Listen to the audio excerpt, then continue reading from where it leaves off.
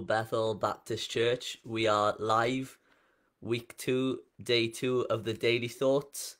Um, today I'm going to be reading from Acts 2, um, verses 42 to 47. We'll get straight into it. They devoted themselves to the apostles' teaching and to fellowship, to the breaking of bread and to prayer. Everyone was filled with awe at the many wonders and signs performed by the apostles.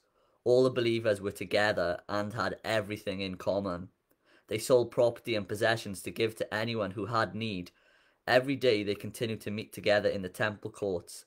They broke bread in their homes and ate together with glad and sincere hearts, praising God and enjoying the favour of all the people. And the Lord added to their number daily those who were being saved. Every time I read this this passage, I think it's great. Acts 2 verses 42 to 47. I preached on it a few times because I think it's a really, really great passage. But there's one thing that usually sticks out once I read that, and that is the fact that all of the church, all of the people were together. There was a sense of, of, of unity in community. And I love that phrase, unity in community. It looked like they were a church that were together. It says in it that they had everything in common.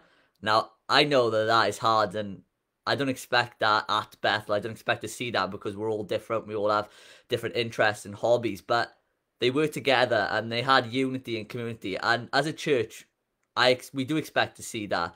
That we expect to to all be together, to be doing the same things, to be to be pushing the church in the same direction, and that's to to make disciples and to bring people into the kingdom.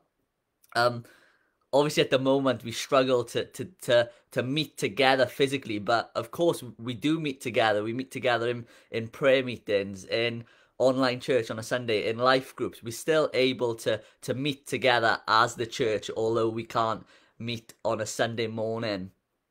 But yeah i love that passage and one thing that sticks out to me is that there was unity and community and from that people were added to to the church daily more and more people came to to know Jesus, and they were also always filling a need. Every time someone needed a need, said they would give clothes, they would give possessions to people that needed.